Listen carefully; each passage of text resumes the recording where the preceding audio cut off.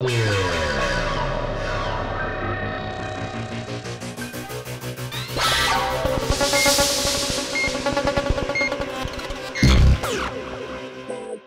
I'm Ryan Parks, and I'm going to be doing a tutorial series showing you how to creatively use your Misa Kitara in Ableton Live. For those of you who want to jump right in, I've included some presets for the guitar in Ableton Live in the links down below. In this first video, I'm just going to be going over the basics, setting up your guitar to talk to Ableton Live, using the MIDI learn function in Live, and a brief intro into the world of MIDI. Most audio interfaces will have a MIDI in and a MIDI out port. Here I have my guitar connected to my M-Audio Fast Track Ultra 8R. There are other methods for connecting your guitar to your computer, but just a word of caution, beware of the cheap MIDI USB cables. Many of these cables can cause unwanted latency, and they don't support all the MIDI channels. After you have your unit all hooked up, we're going to change the Kitara settings to send MIDI output. So we'll start by making a new preset.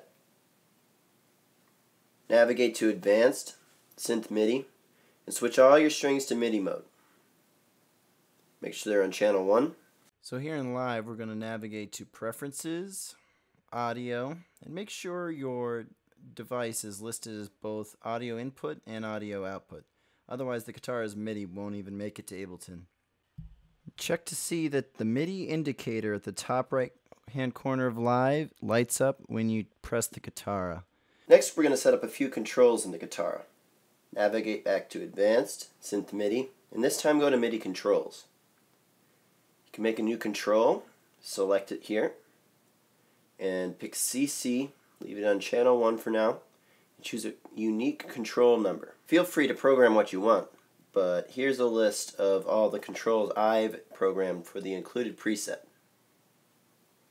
Next, we're ready to use Live's MIDI learn function. Ableton has trouble telling the difference between an X command and a Y command on the XY pad, so here's a little trick I like to do to quickly MIDI learn the Kitara's controls. 1. Save your setup as a preset on the Kitara.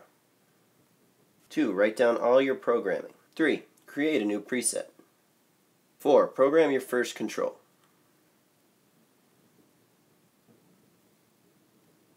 Five, MIDI learn the control. Six, delete the control. And do it for the next one.